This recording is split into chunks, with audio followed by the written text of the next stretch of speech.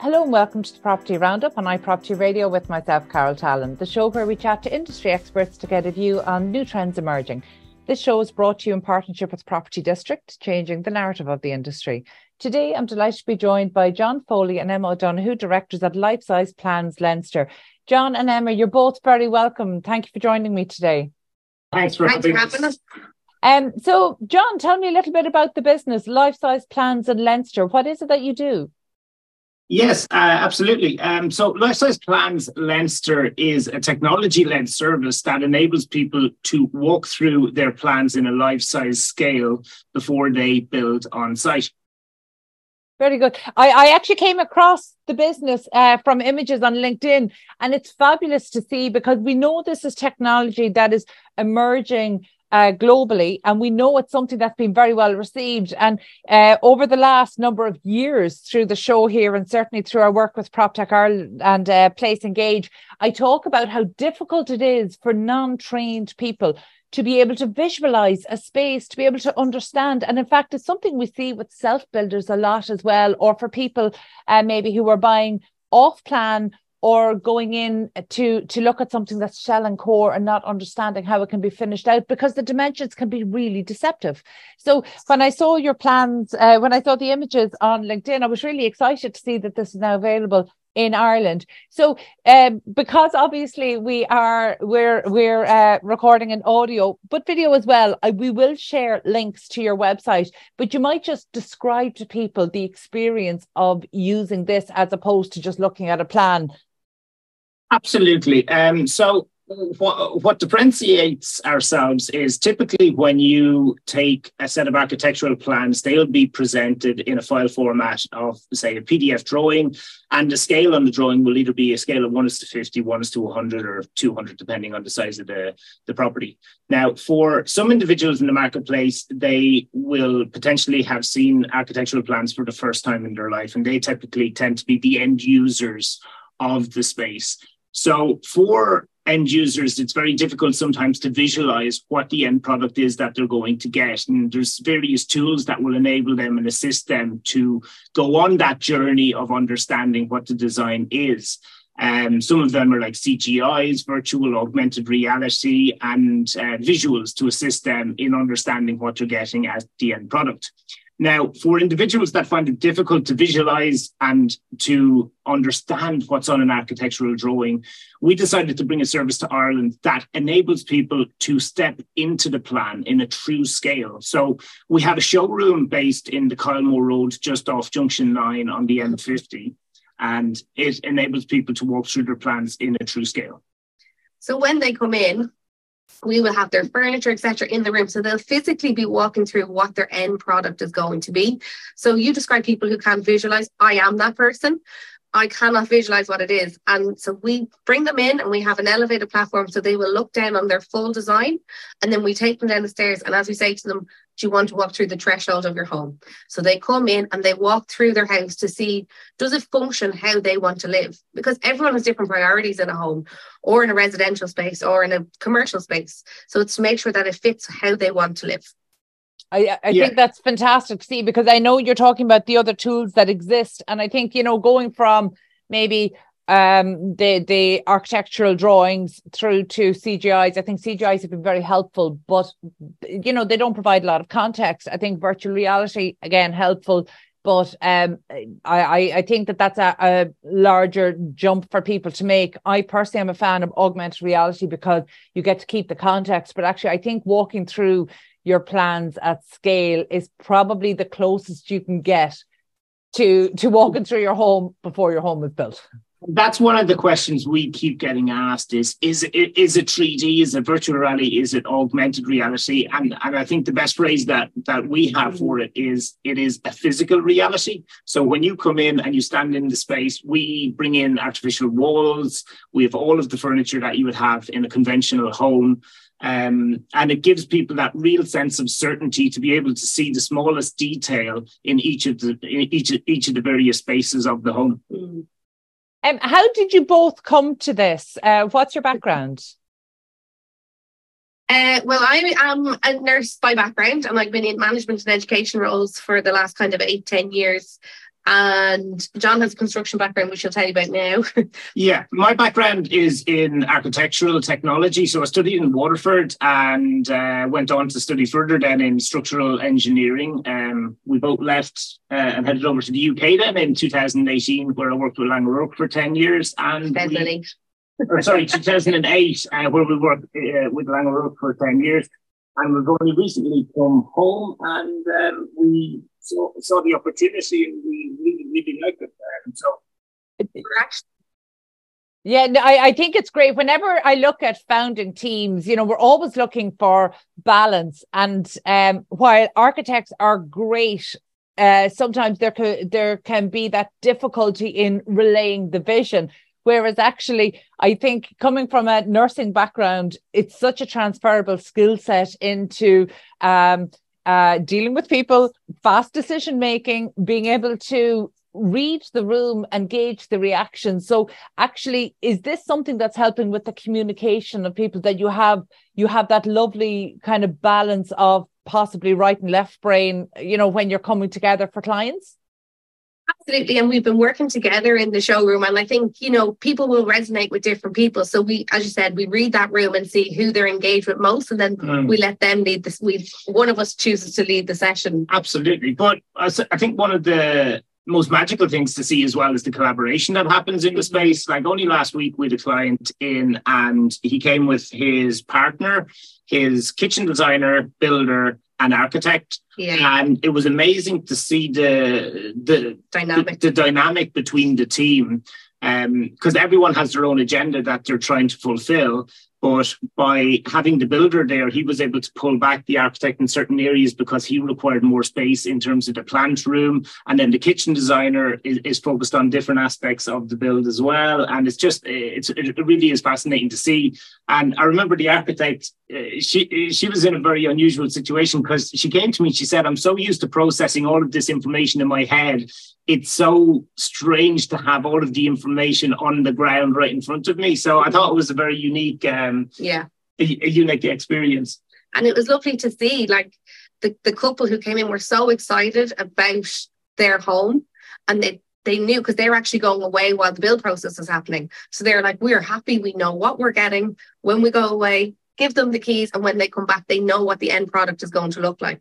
And particularly for in that instance, it was the female she could not visualize she was like me so i totally empathize with her about what she what she was feeling coming into the space but leaving she was completely content yeah I, I, I, I think the whole the whole team approach is fantastic you mentioned your clients there so um like I, I would love to just understand a little bit more about who your clients are because i suppose when i saw this first i would have maybe made the assumption that the end user would be the person who's going to be living in the property, but that perhaps the client might be the developer. But are you dealing with many self builders?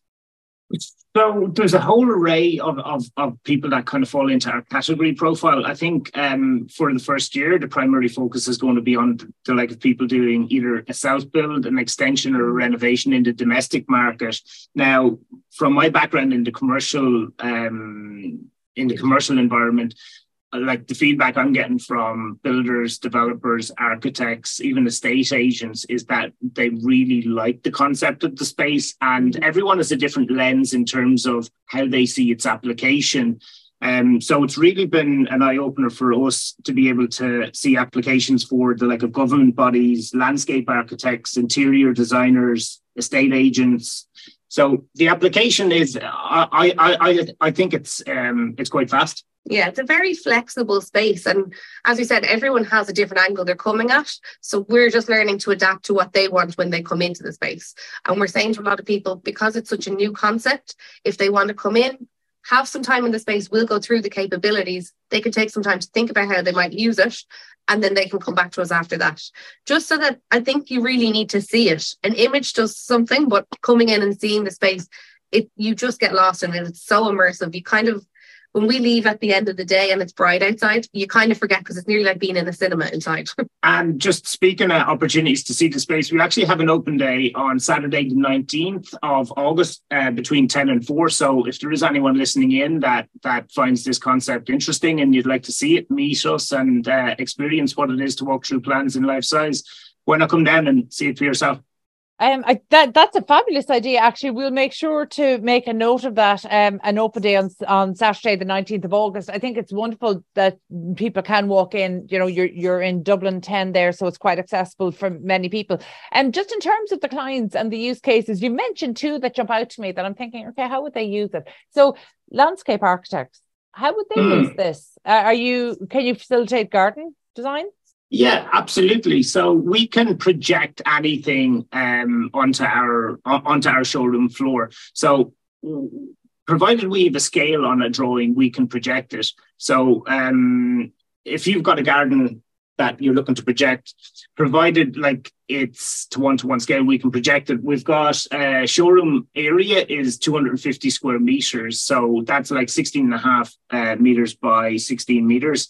So it's quite a large size in terms of being able to project. And actually, the colour looks really well within the space because obviously, an awful lot of architectural drawings, they're black and white, they're very basic is the wrong word, but I mean they're simple. Whereas when you put the color on the floor, it really pops.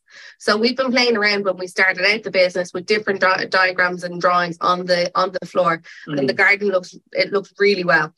Yeah. Because for, for people who have done their architectural plans of a new build, they have a lot of the garden space done within those drawings. Mm. So we put them down for people and they've really got a sense of it. Yeah, and we've got two elevation walls as well that you can project CGIs or video fly throughs. If you've got a BIM model for, say, your building, we can plug that in and do like a remote screen share onto our large wall projection. So our large wall is like 16 meters by five meters. Mm-hmm. So as you walk with your tr- with your team through your plan, you can have the live model on the wall and start detecting these various clashes or design amendments that need to be incorporated. So it's really good for project teams to collaborate on and to overcome issues on. Very good. And um, actually, that was something I did want to get into there, as in the the files that you can take on, because obviously we're seeing such um, a huge transition there in terms of digital design. Um, that you can plug in. It's great to know that you can plug in BIM models, bring them to life. In terms of bringing people through, you know, again, I, I really do like going back to the, the concept of bringing in the whole team, not just the design team, but you know, bringing in um, the different delivery design partners, because that's a fantastic way to make sure that everybody's on the same page. So then you're not just depending on digital clash detection, um, that, that mm-hmm. you actually are seeing perhaps more basic issues uh, before they can even arise. How many people can go through the showroom at the same time? So we're comfortable to facilitate up to 20 people coming through the space at the same time. Um, the showroom is exclusively the client who books. So what we're saying to people is whoever you think will be beneficial. Mm. There is a thing of too many people as well. So it, you know, it's who's important, who the decision makers are to have them there. Yeah, what I really, really like about the space is when you come in, it's a very dark space and you really forget your surroundings. You forget where you're located. And for an hour and a half to two hour period, if you're walking through a residential home, you're really immersed in the space and it has a, it has a very strange way of bringing everyone onto the same page. There's nobody deviating off of topic, and it just really focuses everyone to work in in unison. Um, in terms of fees, how affordable? I like. I would imagine this is something that would benefit the industry, particularly those you know who are selling off plan or maybe selling um shell and core that they're they're looking to showcase different fit outs and things like that. Um, so I can absolutely see the benefit for the industry. But um, talk to me a little bit about the self builders. Is it viable for people who are looking at their own maybe domestic renovation or self build? Uh, the cost wise is viable for them to do this? So how we charge is we charge by time. So it's it's 700 euro plus VAT an hour, which initially can seem like an awful lot of money, but if you think if you were making any changes on site, what would you actually get done for that 700 euro? So this is going to give you the certainty to not be making changes on the back end. And as John said, we think most people, if they were doing a full build, will get through their house in about an hour and a half to two hours for your standard size. You know, if they were going very large, it might take a little bit longer. But we think that investment to provide the certainty and that you understand what you're getting, we think it's as a percentage of your build price, it's very, very small. Um, I think a no, key sorry, statistic just, I think a key statistic just to put on that as well. On average, for residential uh, clients that walk through the space, uh, the number that we see of fundamental design changes been recorded is between eight and ten. So it is it is definitely something to bear in mind in terms of on the back end of the construction process, I've seen from experience the cost and the time implications on project durations mm. and, and, and budgets um, to making changes on site. Uh, so if you can bring those fundamental changes to the front end, uh, it makes for a happier builder, a happier client, and a happier architect, and a happier outcome. yeah, no, I, I, listen. That makes absolute sense. And to be fair, if you're talking about you know registering maybe eight to ten changes, if you even think that one of those changes might be a wall at nearly start stage of a build, that's less than a day's labor um, in terms of making those changes physically on site. So I can absolutely see how that would make sense. And um, Emma, tell me what uh, of the people who've come through the doors um, in the recent weeks since you've opened the new facility, what has surprised you the most? Um, what has surprised me the most? I think the people who have come through and they're so certain that they know what they're getting and they say, I'm only here for my other half. They actually make changes. So sometimes it can be the opposite way. So it's nearly a surprise when people are in it, they they were so certain about what they were getting when they were standing in it, they're like, oh no, no, no, no. And they make changes there and then. And it's funny, people get so engaged. I mean, they practice where they'd be cooking and they look at their kitchen and does it flow right? And I suppose it's just for me, the surprise is just seeing how excited people are and yeah. engaged they are and the yeah, there's something really special about it because it's it's it's it's a thing that you know people go through. It's such an intimate thing as well. You know, designing your home and and, and delivering mm-hmm. your home that you know it's a privilege to be part of the process. Really. Um, John, for you, you're coming from a design background, uh, I, I, and you know, uh, more decades of experience in design. How has this changed how you communicate the vision? Because obviously, you're in more of a show rather than tell, whereas previously you were probably reliant on being very good at communicating your vision. How has that mm. changed? How you've been practicing over the last kind of decade and a half, two decades? Yeah, I'll answer that one. He has to stand back a little. I have to. I have to stand back and take my hands off the wheel. But Emma's very good at telling me how to do that. That's good teamwork. That's good teamwork. And by the way, this is where you know genuinely when we speak to startups, you know, we love to see that balance in founders. You know, you want the different skill sets, and you know, I often talk about this kind of three-legged stool where you know you want the tech element. Um, you want the visionary side, but you also need somebody that's uh, kind of bringing in maybe the financial control and and um, obviously um, life size plans. Uh, this is coming in as part of a franchise. So, how do you feel supported in that actually introducing such a new concept to the Irish marketplace? Uh, the Australian team have been great. To be honest, they came over, they met us earlier in the year and they spent some time. And that time really was to just to get to know us, to make sure we were a good fit for their brand and to make sure the relationship was there.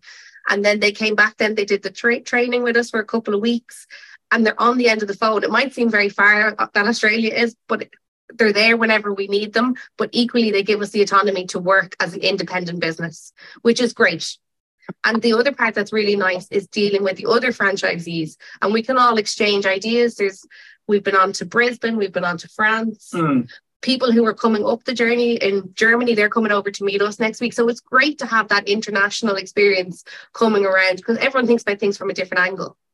I actually I think this really reflects a trend that we've seen, and it's one that we've documented a lot through PropTech Ireland. Um, that actually the technology side of of the built environment is breaking down some of the very natural geographic barriers that we might have had previously um, and actually it's making the work practices different as we've seen over the past decade we have a construction industry that's gone from kind of managing peaks and troughs by um, emigrating to actually exporting skills you know and, and we've seen yeah. it really grow over the last decade decade and a half so actually there's very little difference between your support team being in Australia as if they were, uh, you know, on the west coast of Ireland and you were on the east coast.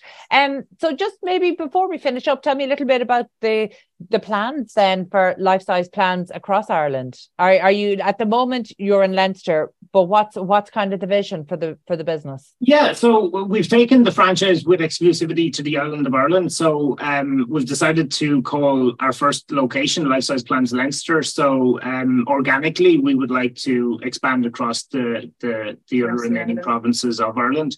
Um, we haven't put a, an exact timeline on that, but um, our primary focus right now is to make sure that Lifesize Plans Leinster gets gets the attention support it requires. Yeah we we want people to know that this service is here first of all. You know it's not something that was there before so we need to create some brand awareness get this up and running and then we'll look at the the next baby as we call it well, I, I, look, I, I think it's really exciting. And as I said to you before we came on air, I truly believe you're coming at this at the right time. And we know that people have tried to do this uh, back in kind of 2017, 2018, 2019. The technology wasn't as far advanced. And I think COVID, COVID just really made people um, take the leap towards digital and that that that's not just in relation to the industry embracing digital but actually consumers being comfortable engaging with the industry in digital because that's something that um, um, you know, because buying your first home is is for many people a once or twice in a lifetime experience. They were happy not to take the same digital approach as they did with other areas of their life, and that really changed during COVID. So it, it to me, it certainly seems like you're coming at this at the right time, but you're also tapping in on something that I think was maybe a frustration for decades, people who just couldn't yeah. visualize what their home was going to be and and it's addressing that. Um so just i know you've mentioned there in terms of the range of clients you have but say over the next 12 months how are you looking to grow that client base? And and really what what are the different client bases? Will you be focusing kind of more on the the individuals the self builds or are you doing a targeted reach out to the industry yeah, um, I think in the short to medium term, we're very focused on the residential market, um, and and primary focus is on developing specific partnerships with architects that are delivering uh, to the residential market over the course of time. Then there is obviously the alternate uses for landscape architects and interior designers to come in uh, to, to to convey their concept um, but o- o- over the course of the medium term, we would see a huge application for our services for government bodies, planning authorities, and estate agents to be able to convey their message as part of public consultation processes um, to the wider public. And um, I think that will be a much slower um, client base to to convert, but we believe that there's huge value there for the end user. Very good. Look, I, I absolutely agree with you, and I'm delighted to hear that. And I will make sure that I get out myself um, to visit you in the coming weeks. And I would just remind everybody that you are having that open day on Saturday, the 19th of August. What are the opening hours for Saturday, the 19th of August? Uh, 10 till 4. 10 till 4 super. So hopefully people will go along um be inspired and maybe even uh it, it, might just motivate them to to bring their plans to life prior to development. So i'm um, really excited to see what happens next for you both. Um but i look forward to calling in over the next coming weeks to oh, visit absolutely. the showroom. Super. Thank you so much once again um, my pleasure. That was John Foley and Emma O'Donoghue, directors at Lifesize Plans Leinster. And uh, thank you again to John and Emma for joining us today. So the business there is Lifesize Plans Leinster, and I recommend anybody, both industry and uh, people who are intending to do some renovation on their own building, um, or indeed embark on a self build to check out the offering there. My thanks to show producer Katie Tallon and to the production team at Hear Me Roar Media, and huge thanks to our show sponsor, Property District, changing the narrative of the industry. If you enjoyed this episode, please be sure to subscribe to the podcast and check out all of the other uh, construction and real estate shows from around the world on iProperty Radio. And thank you for tuning in. We'll catch you on the next episode of the Property Roundup here on iProperty Radio.